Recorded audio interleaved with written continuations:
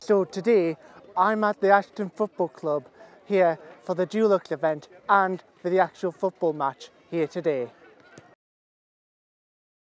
Sunderland, uh, Ryhope Colliery Welfare.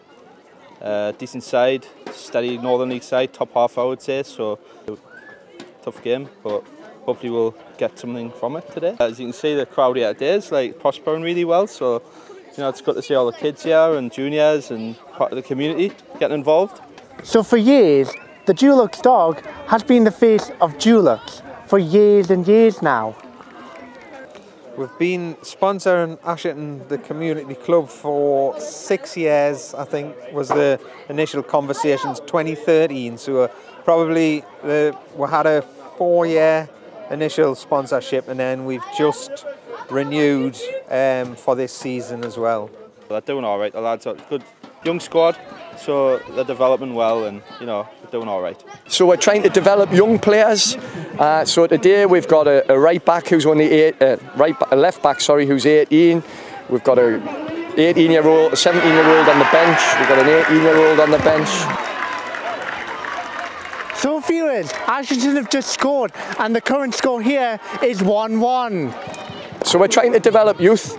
Um, like they're talented players. Uh, we just need to nurture them and develop them in the way that they're developing. And we've got one or two more senior players in the likes of Gav Keynes and Ian Heron and Stephen Gibson who are who are helping to develop the, these young players. And it, it's a work in progress. Um, I would urge everybody to stick with us. We'll have some good days like today. We'll have some not good, so not not so good days. Sorry, like Tuesday when the performance level wasn't quite where it should be. Um, but all in all, we'll keep trying our best. We'll keep giving 100%, and if we do that, I'd like to think we'll win more games than we'll lose. Do you expect this kind of turnout? Because, I mean, there's a lot of people here for the match and for the event itself. There's probably, I don't know, four or 500 people turned out, which is which is good, and I'm, I'm over the moon with it, um, really pleased. So viewers, I'm here at a dog, at, I guess the dog competition. Hmm, which one shall I put? I've picked Sarah.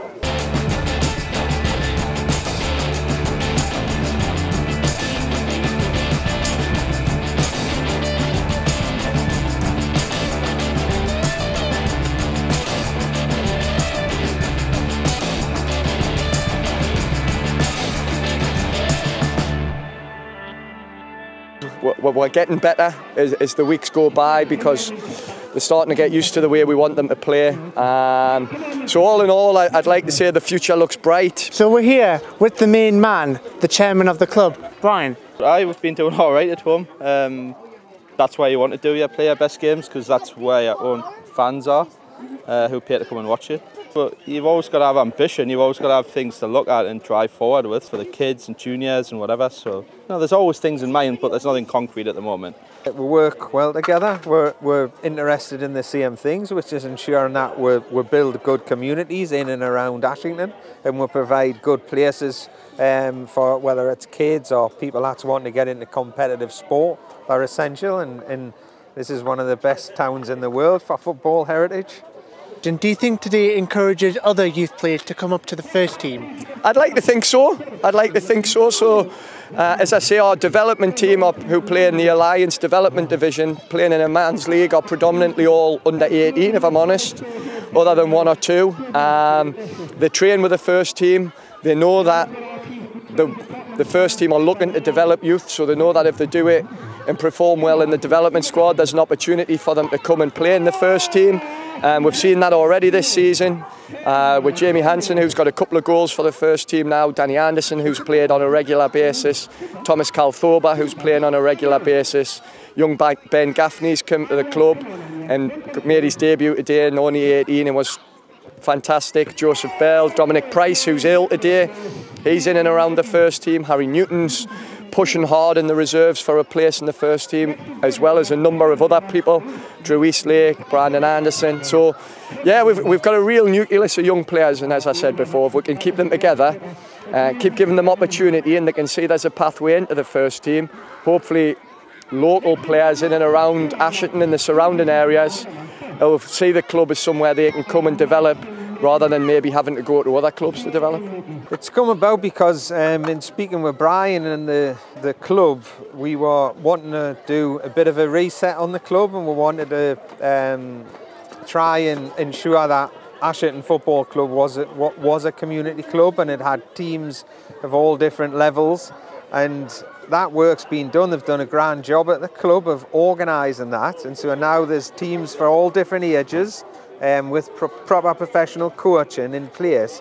And what we wanted to do was just really let the community know that the clubs went through some real change and there's um, a lot of improvements in place and we just wanted everybody to know about it.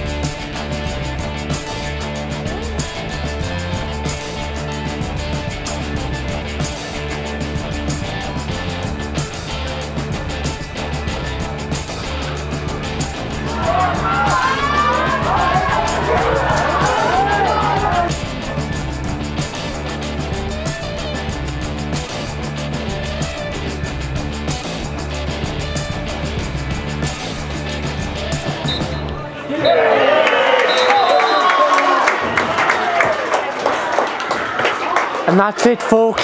Ashington win a comfortable 3-2. Scary at times, but a very good 3-2 win for Ashington here today.